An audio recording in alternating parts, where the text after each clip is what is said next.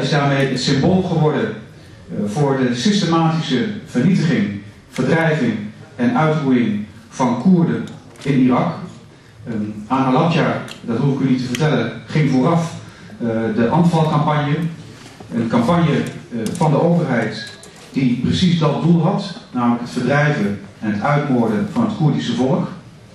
En sinds 1988 is daar veel te weinig aandacht voor geweest.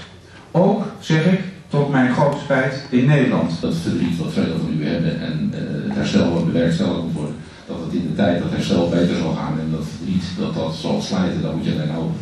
En uh, daarom is het belangrijk, denk ik, dat ook Nederlanders heel goed begrijpen, en begrijpen hoe, dan bedoel ik, uh, bedoel ik de Hollanders, om het dan zo maar te zeggen, dat die ook heel goed begrijpen van wat hier gespeeld hebben en dat wat in Noord-Irak is gebeurd, dat dat nooit meer ergens in de wereld gebeurt. En als dat besef goed doordringt, ja, dan krijg je brede steun en dan gaan er ook dingen gebeuren zoals internationaal erkennen. Fred Teven en ik hebben er afspraken over gemaakt. Wij zullen in de Tweede Kamer dit onderwerp aan de orde stellen. Niet alleen maar om te komen tot erkenning, maar ook te komen tot internationaal en onafhankelijk onderzoek om precies die doelen te bereiken.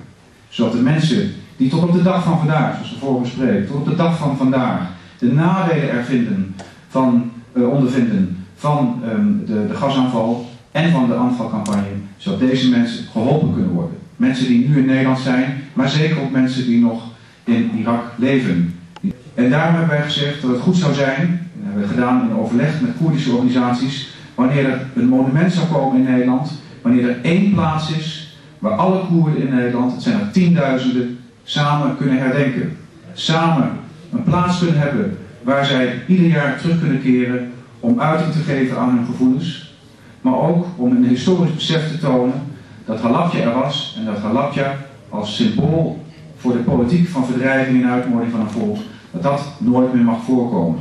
Zoals er ieder jaar ook een herdenking is op 4 mei voor de Tweede Wereldoorlog, zou het van grote betekenis zijn wanneer er ook één plaats komt in Nederland waar er herdacht kan worden wat er met de Koerden gebeurd is in de jaren 80.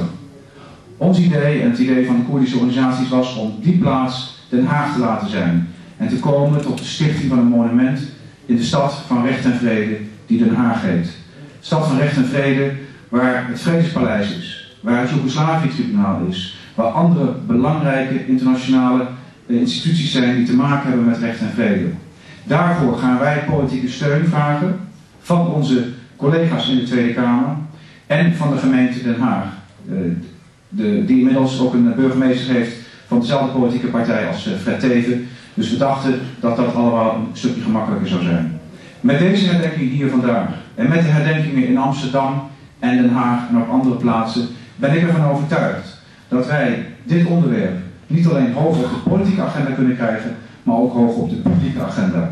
Heel Nederland moet weten wat er in de jaren 80 in Irak gebeurd is, wat er in Halabja gebeurd is. Zolang er mensen zijn die daar de nadelen van ondervinden, zolang er mensen zijn die zich dat kunnen herinneren, verdient het een hoge plaats ook op de publieke agenda.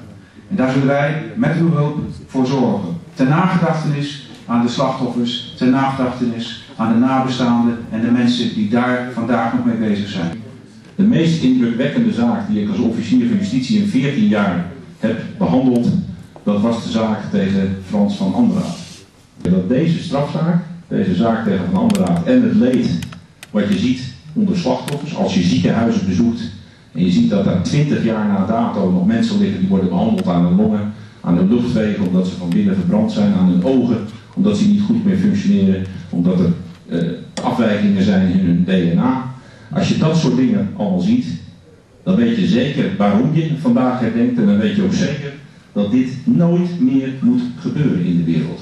En dat is niet een frase die we uitspreken, dit is echt waanzinnig wat daar gebeurd is in Alapja en in al die plaatsen in Noord-Irak en ook in. Ik zou om die reden uh, tegen u willen zeggen, met Harry van Bommel. Het is heel belangrijk dat u de komende jaren in Nederland gezamenlijk kunt gaan herdenken. Dat we volgend jaar in Den Haag dat monument is gerealiseerd. Daar gaan wij met al onze collega's in de Tweede Kamer hard voor knokken. En ik hoop dat u gaat zien dat er voor de Koerdische bevolking in Noord-Irak nog meer gaat gebeuren. En dat we ook in staat zijn om de medische en de sociale en de ethische gevolgen om die te onderzoeken en daadwerkelijk meer hulp te verlenen als die internationale erkenning er is.